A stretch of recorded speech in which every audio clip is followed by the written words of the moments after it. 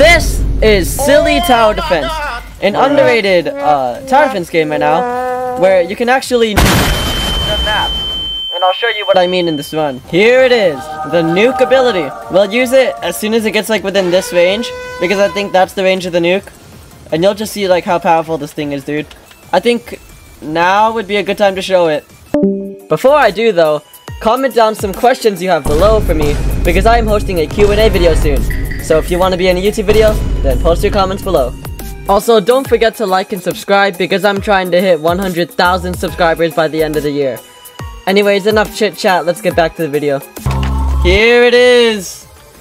Hiroshima! That thing just wiped everything. And it did about 12k damage to the boss, I think. That was insane, dude. I'm actually gonna sell these just so I could drop another nuke and show you guys just like how cool it is. Pearl Harbor!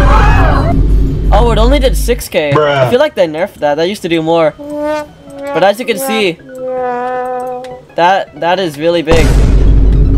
That is really cool. I was just like jumping up there to get a screenshot. So yeah, this game updates tomorrow. It brings out hard mode.